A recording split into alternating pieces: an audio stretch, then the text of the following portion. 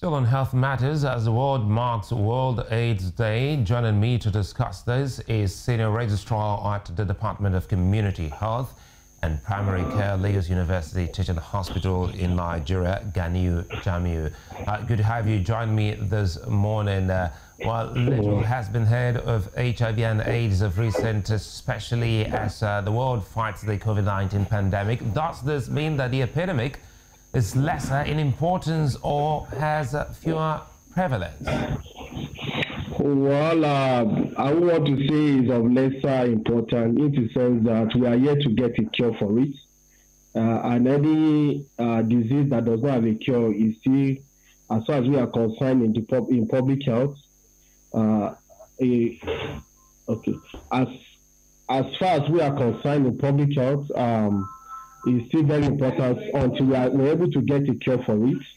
And apart from that, we're looking at it in Nigeria again. The, in sub-Saharan African country, including Nigeria, the prevalence is still relatively uh, high in Nigeria. For for instance, the last based on the last um, uh, AIDS indicator survey that was carried out in this country, we had currently we have about uh, 1.4 uh, percent prevalence rate of HIV in the country um, having approximately about 2 million people that are still living with HIV AIDS, which is actually a very significant number. And if you listen very well again, about 1.8 people have died from the uh, epidemic. is is a uh, epidemic anyway now because it's not found in every part of the of the continent. So it has been controlled in some other parts of the continent. But the burden is, is still relatively high in African countries, especially sub-Saharan African countries where many people are still are still dying from the uh, epidemic. So I think it's still very paramount until we're able to get a cure for it. Yes. Well, I, I think many donors, uh, uh, I understand, uh, have cut back their support.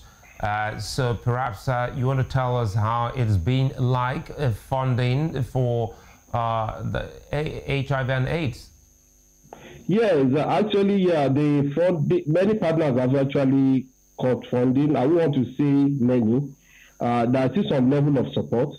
But if you remember, as I've said, the last survey that was carried out, there was a relatively reduction in the prevalence. And what many donors are interested in is to see that the investment in any program is actually working.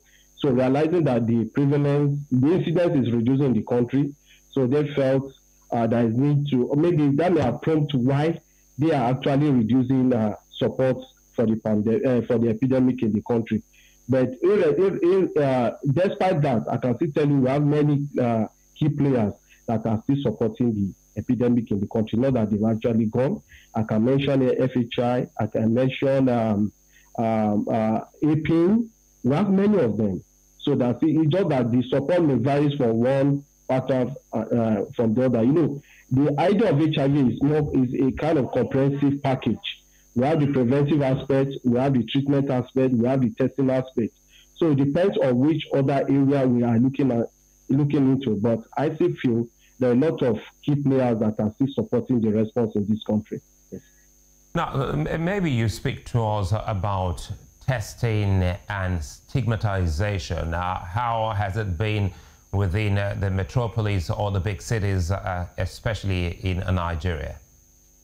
Yeah, uh, uh, looking at uh, the theme for this year, which is uh, especially as relates, uh, uh, relates to Nigeria, talking about ending the HIV pandemic, resilience and impact, with focus on creating awareness and knowledge among the populace, as well as speaking out against stigma.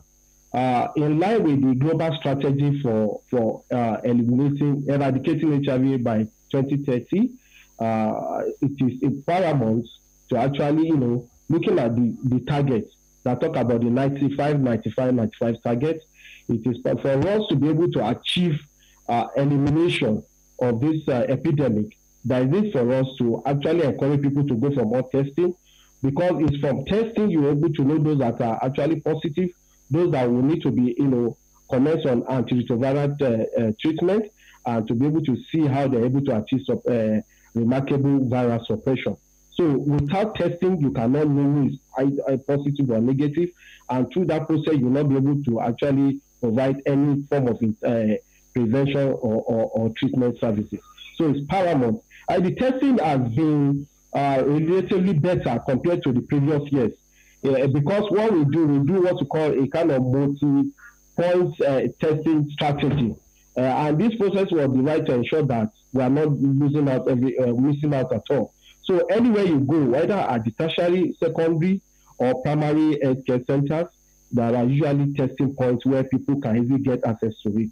So there'll be multiple points where people can actually get this testing. Even premarital testing and so on are ongoing.